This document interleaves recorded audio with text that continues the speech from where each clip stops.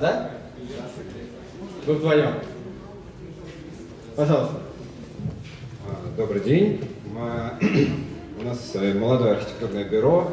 А У нас получилось в прошлом году выиграть э, возможность на развитие Даниловского рынка. И в ходе работы над рынком, а особенности над его благоустройством, мы начали размышлять на тему того, как э, адаптировать горожан к сельскохозяйственной жизни и вообще каким образом произвести из этого какую-то особую идентичность до рынка. И мы решили сделать э, вокруг рынка благоустройство в виде грядок и э, возможностью горожанам выращивать продукты там. Но тут мы вспомнили, что в, в Москве э, 8 месяцев зимы, и каким образом мы будем это делать, мы так и не- ну, никак не могли решить.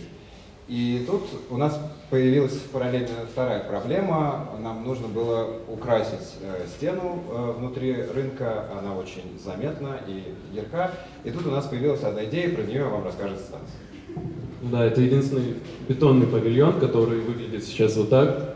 Мы решили сделать на нем э, какой-то дизайн и использовать гидропонику как элемент дизайна. Это стена превращается в вертикальную дачу, она становится более э, приятной для посетителей является неким аттракционом.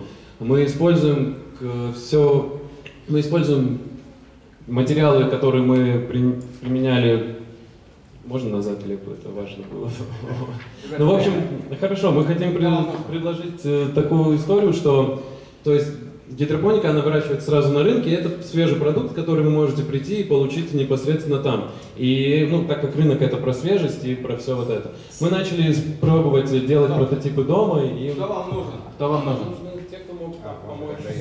В данный момент мы испытываем сложности со светологом, с биологом, который поможет нам э, с биоудобрениями, и, соответственно, аграрием, который нам подскажет, какие типы растений мы могли бы выращивать. Делайте презентацию, у вас, по-моему, номер 13.